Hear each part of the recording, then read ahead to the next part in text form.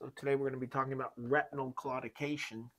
And even though it's a retina symptom, it's a super important symptom to know in neurop because it represents a transient ischemic attack at the level of the retinal photoreceptor.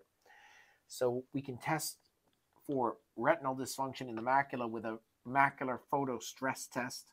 So you shine the light in the person's eye, and normally the photoreceptors need time to regenerate because the light has taken up all their photoreceptive transduction elements, and so they need about 15 to 30 seconds to recover. So if you shine the light in someone and they lose three lines of vision and they don't get it back for a minute or so or more, that is a positive macular photostress test. When would you use this?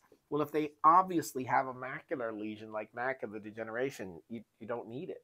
It's when the fundus looks normal that you need the macular photostress test to try and differentiate is this a retinal problem or is it an optic nerve problem? Because optic nerve doesn't really care whether it's day or night or what the lighting conditions are. Only photoreceptors care about that. And so when you have retinal claudication, it's just like limb claudication or jaw claudication.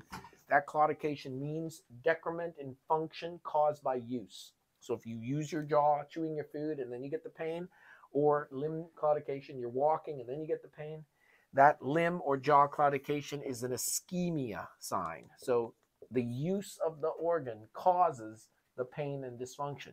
And that's the same thing with retinal claudication. If the light hits your eye and you have prolonged photo recovery, the light hit my eye, I was I'm blinded by the light for like three minutes or 10 minutes or 20 minutes.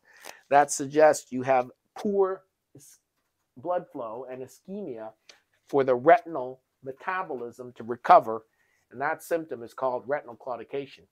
So we got to do the regular stroke workup, but it's highly suggestive that you have hemodynamically significant ipsilateral carotid occlusive disease. So you need to know a little bit about claudication and retinal claudication.